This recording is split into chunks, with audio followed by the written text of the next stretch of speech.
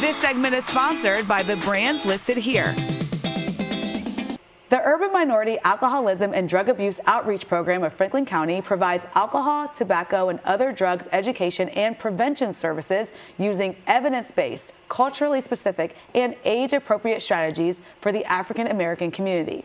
Joining me is their executive director, Tammy Doby. Hi, Tammy. Thanks for being here. Thank you. Thank you for having me. So, tell us about UMADAOP and the services that you provide for students in Franklin County. UMADAOP of Franklin County is, is a behavioral health agency that provides drug and alcohol services. But we also provide a lot of services to youth. So we have an after school program and we have an in school program where we do prevention services. Such important services. And that you're here today to tell us how you're using a creative strategy to address tough problems facing today's students. And what's going on with kids here in Central Ohio? Yeah, what we found in the work that we do at UMADAOP is that a lot of our kids are facing some really adverse experiences, mm. um, childhood experiences, and they just don't have the support and the tools they need to cope with these different things.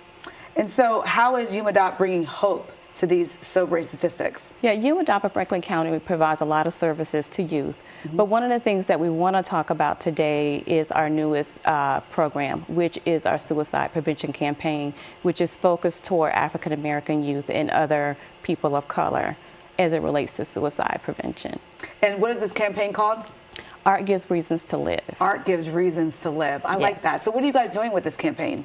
So basically what we did was we, we asked our after school program, what is the best way to reach kids? How to encourage kids mm-hmm. to just hang in there a little while longer. Mm. And so what we looked at was what they do in our program, which was TikTok, singing, dancing, those type of things. So we said, let's put art with expressing and encouraging their peers to just hang in there and that everybody has a gift inside of them and we want to see it. So hang in there a little while longer. Oh, that's so we fantastic. came up with art gives reasons to live. Art gives reasons to live. So what encouraging message do you want to leave with students and parents that are watching?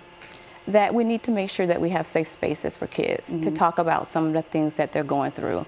And we can do that through a number of reasons. We have the 98 number mm-hmm. that they can call. They can call ADAMH. and they can definitely call UMADAOP Franklin County if they need help.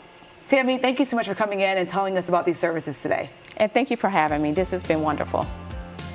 And as she said, for more information, you can please go to umadaopfc.com.